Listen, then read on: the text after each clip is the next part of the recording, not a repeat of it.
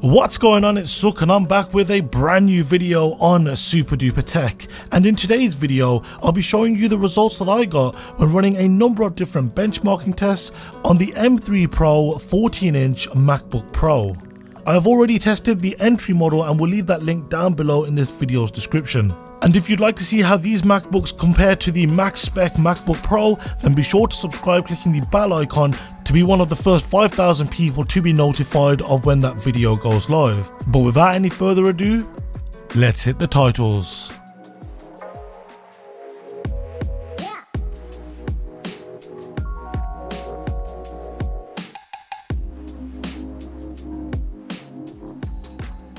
So first things first, the model that I'm testing in today's video is the 14 inch MacBook Pro which has the M3 Pro chip which has a 12 core CPU, an 18 core GPU, 18 gigabytes of unified memory along with 1 terabyte of SSD based storage. So the first benchmarking application which I ran on this MacBook Pro was Geekbench 4 which was ran through Rosetta as it's not natively available on macOS. Now Geekbench is good as it runs several different tests and algorithms and depending depending on how it's performed and how long it took to perform them, it will then give a score accordingly. So for the CPU test, I got a single core score of 7862 with a multi-core score of 45003. I also performed Geekbench 4's compute tests testing the GPU found in the M3 Pro chip. Now it's worth noting that with this MacBook Pro, it has 18 graphical cores and not 14 like we see in the entry 14 inch model. So the first compute test which I ran was the OpenCL test. Now when running this test I got a score of 196,172 and when running the Metal compute test I got a score of 148,898. The next testing application which I ran was once again from Geekbench but this time from their slightly newer version Geekbench 5 which has an increased amount of tests which are further designed to tax the machine when compared to Geekbench 4 and once again Geekbench 5 scores based on performance and time taken. So when running the CPU test, I got a single core score of 1691 with a multi-core score of 11677. And when running the OpenCL compute test, I got scores of 47671 and when running the metal test, I got scores of 47917. The next testing application which I ran on this MacBook Pro was once again from Geekbench however from their latest set of tests found in Geekbench 6 and when running the Geekbench 6 compute test I got single core scores of 3141 with multi-core scores of 15712 and when running the OpenCL compute test, I got scores of 50,207 and when running the metal test, I got scores of 78,588. The next test which I ran was Cinebench R20. Now when running this test, I got a score of 4,103. And so sticking to the trend of testing the CPU, I then ran Cinebench R23. Now Cinebench will test the single and multi-core performance of the M3 Pro CPU and then works out the ratio between the two. The higher the ratio, the better the performing CPU.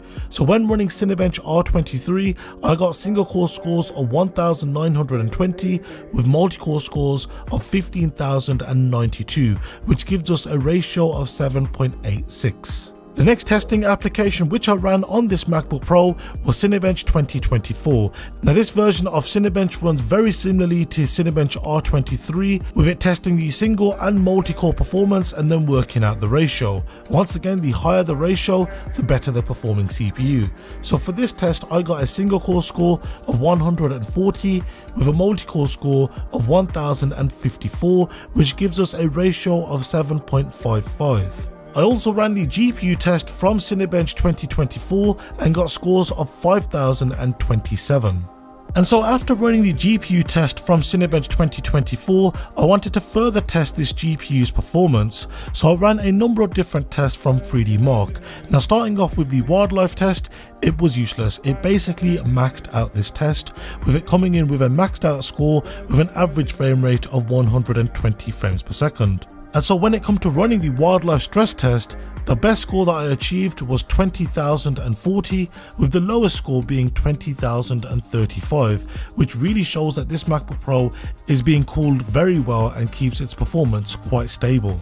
And so I wanted to further test this machine, so I ran the Wildlife Extreme test. And when running this test, I got a score of 14,303 with an average frame rate of 85.6 frames per second. And when running the Wildlife Extreme Stress Test, the best score I achieved was 14,323 and the lowest I achieved was 14,259. Which once again goes to show that this MacBook Pro is being cooled quite well. And one of the newest hardware features that the M3 family of chips bring to the new MacBook Pros is hardware accelerated ray tracing. So I decided to run the Solar Bay test. Now when running the Solar Bay test to test the ray tracing capabilities of this M3 Pro MacBook Pro, I got a score of 22,467 with an average frame rate of 85.4 frames per second.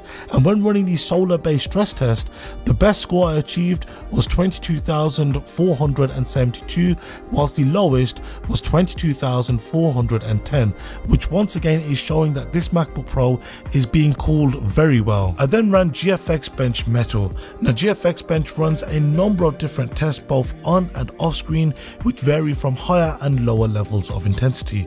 Now in the interest of saving some time, I have calculated the average across both categories. But as always, I will show you each individual result. So the average I got for the higher intensive tasks was 391.89 frames per second and for the lower I got a score of 381.29 frames per second. I then wanted to test this MacBook's SSD speeds, so I ran the Blackmagic disk speed test and when testing the write performance, I got speeds of 6262.9 megabytes per second with read speeds of 5045.6 megabytes per second. So I also wanted to test using the AJA disk speed test and when running this test, I got write speeds of 3773 megabytes per second with read speeds of 2612 megabytes megabytes per second. I then ran NovaBench 2. Now NovaBench is a good general benchmark as it tests not only the CPU and GPU but also the system memory and the system storage. So when running this test, I got scores of 2974. I then ran a network speed test and got download speeds of 313 megabits per second with upload speeds of 93.4 megabits per second. The next test I ran was the Antutu HTML browser benchmark and when running this test I got scores of 93,008 and when running the speedometer 2.0 test the highest scores I achieved was 604. I then ran the V-Ray test and got scores of 9577 I then used Blender to render the classroom and BMW scenes, and when rendering the classroom scene using the CPU, it took 7 minutes and 15 seconds to render, but when it come to using the GPU, it was much faster, with it taking 1 minute and 19 seconds to render. I then changed the scene from the classroom to the BMW scene, and when using the CPU to render this scene, it took 3 minutes and 5 seconds to render, and when it come to using the GPU, it was astonishingly fast, with it taking 33 seconds to render. I then rendered using Blender 4.0 which takes advantage of the ray tracing acceleration in the M3 Pro and when rendering the classroom scene using the CPU through Blender 4.0 it took 5 minutes and 30 seconds to render using the CPU and when switching over to using the GPU it took 55 seconds to render. When rendering the BMW scene using the CPU it rendered in 2 minutes and 24 seconds but when using the GPU it was astonishingly fast. It rendered in 21 seconds. I then ran the Shadow of the Tomb Raider benchmark across a number of different resolutions from high to medium settings. So when running this benchmark at the native resolution of the 14 inch MacBook Pro, which is 3024 by 1964 and keeping the graphics settings to high, this MacBook Pro managed to render 4479 frames with it averaging 28 frames per second when dropping the settings to medium, it this time managed to render 4617 frames, with it bumping its average up by a measly 1 frames per second, this time averaging 29 frames per second. When the resolution was lowered to 2560 by 1600 and keeping the graphics settings to high, it this time rendered 6071 frames, with it averaging 38 frames per second. And when the graphics settings was lowered to medium settings, it this time rendered 6280 87 frames, with it once again increasing its average frame rate by a measly 1 frames per second, now averaging 39 frames per second. When the resolution was lowered further to 1920 by 1200 and keeping the graphics settings to high, it this time rendered 9293 frames, with it averaging 59 frames per second. When those graphic settings were lowered once again to medium settings, it managed to render 9667 frames, with it increasing its average now by 2 frames per second, now averaging 61 frames per second. I lowered the resolution one final time to 1200 by 854 and keeping the graphic settings to high, it this time managed to render 14,466 frames, with it now averaging 92 frames per second and when the graphic settings was lowered to medium, it this time rendered 15,289 frames,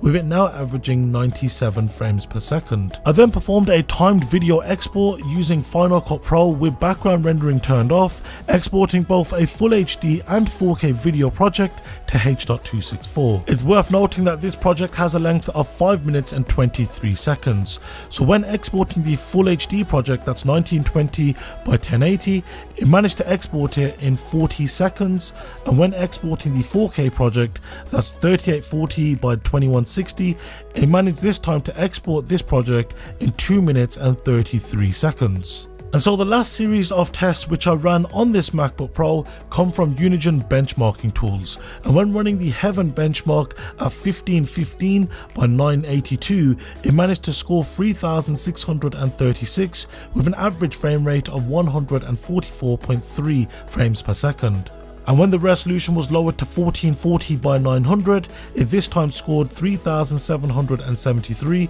with it scoring an average frame rate of 149.8 frames per second. And the final test which I ran once again came from Unigine benchmarking tools, but this time it was their Valley test. Now when running the Valley test at 1515 by 982, it managed to score 4908 with it scoring an average frame rate of 117.3 frames per second. I also ran the Valley test at 1440 by 900 and it this time scored 4858 with it scoring an average frame rate of 116.1 frames per second. So that has been it for today's video. Of course if you are new around here then be sure to subscribe clicking the bell icon to be notified when a new video goes live. If you've got any questions with anything you've seen in today's video, then be sure to leave them down below in the comment section, or alternatively you can hit me up on my social media, links to which can be found down below in this video's description. Once again, thank you very much for watching and I'll see you next time. Take care and have a good one.